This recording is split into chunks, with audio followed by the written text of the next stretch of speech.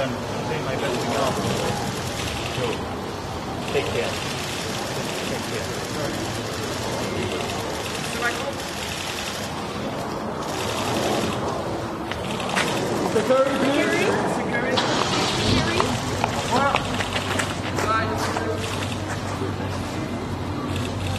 Uh, we're very grateful to uh, President Macron uh, and to France and to Europe for all the hard work done over four years uh, to keep climate crisis on the agenda and to be responsible.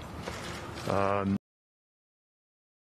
um, so when we say America is back, we're not saying anything with any uh, uh, arrogance or sense of uh, entitlement, but we're back to be partners. We're back to be part of the fight to get this job done.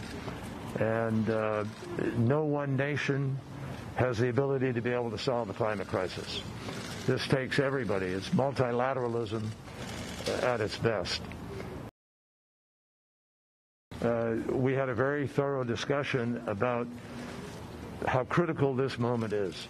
And President Macron indicated that he wants to work with President Biden extremely closely, uh, not just on the reductions of emissions, uh, but particularly on the tools necessary to, in other words, not just in setting a goal, but in helping to provide the tools that will achieve that goal, specifically in the case of climate finance. There's a very exciting transformation taking place.